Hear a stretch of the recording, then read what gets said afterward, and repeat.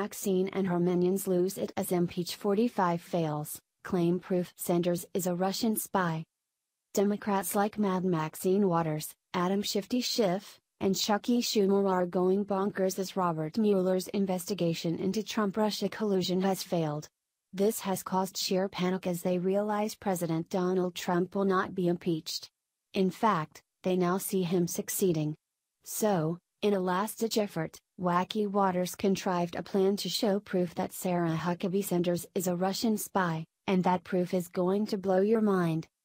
Democrats like Mad Maxine Waters, Adam Shifty Schiff, and Chucky Schumer are going bonkers as Robert Mueller's investigation into Trump Russia collusion has failed. This has caused sheer panic as they realize President Donald Trump will not be impeached. In fact, they now see him succeeding. So, in a last ditch effort, Wacky Waters contrived a plan to show proof that Sarah Huckabee Sanders is a Russian spy, and that proof is going to blow your mind.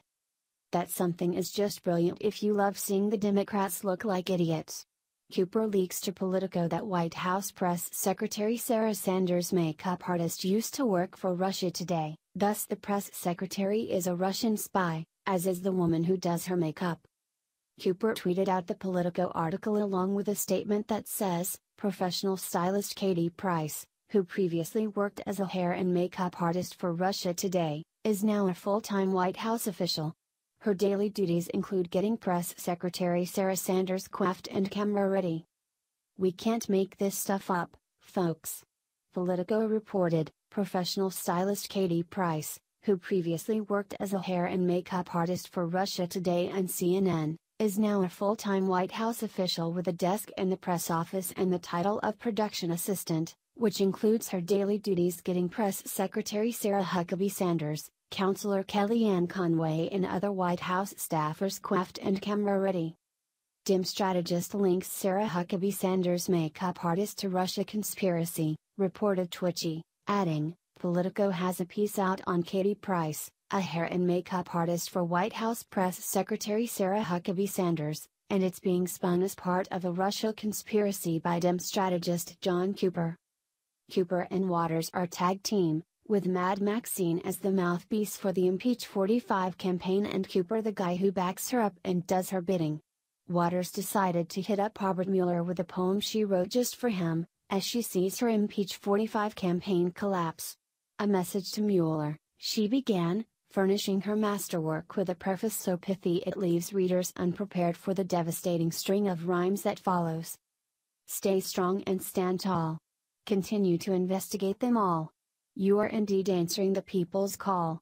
The Kremlin clan is going to fall. Around you, the Democrats are building a wall.